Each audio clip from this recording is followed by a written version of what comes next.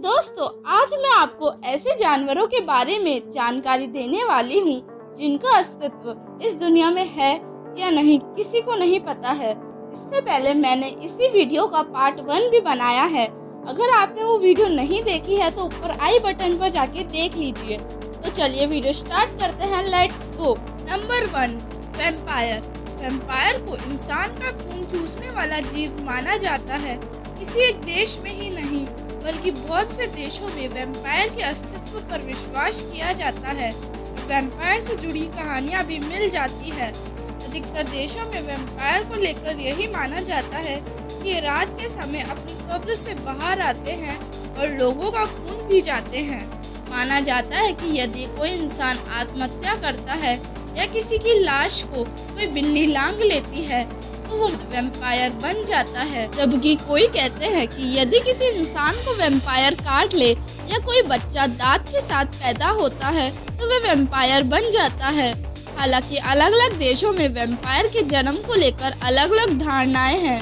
Vampire की पुराने समय की बहुत सी ऐसी कहानियाँ हैं, जिनमें कहा जाता है कि वह असली थे, लेकिन अभी तक इसका कोई पक्का प्रमाण नहीं मिला है। इसलिए ये काल्पनिक जीव बन कर रह गए हैं। Number two werewolf. माना जाता है कि वेयरवुल्फ, जिसे भेड़िया मानव भी कहते हैं, ऐसे इंसान होते हैं जो भेड़िया में बदल जाते हैं। बहुत से देश हैं जहाँ वेयरवुल्फ को असली माना जाता है, और इनसे जुड़ी बहुत सी कहानियाँ भी मौजूद है।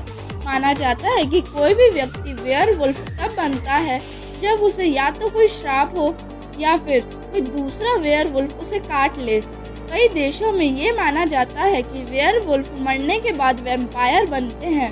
अगर किसी इंसान को ये लगता है कि वह वेयर वुल्फ है तो उसे क्लिनिकल लाइकेथ्रोपी कहा जाता है।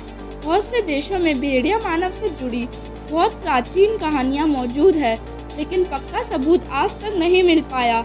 यही कारण है कि ये भी एक काल्पनिक जीव भी माने गए हैं। Number three mermaid.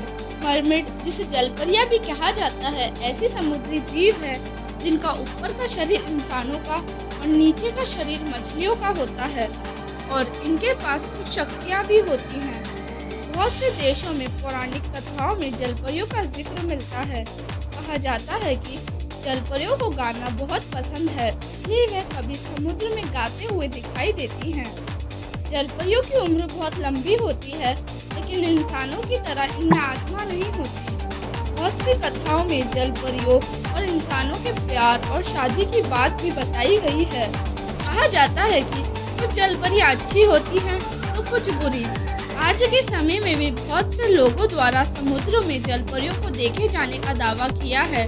तो कैसे लगे आपको ये जानवर? क्या आप भी इन जानवरों के ऊपर विश्वास करते हैं? मुझे कमेंट करके ज़रूर बताएँ। Thanks for watching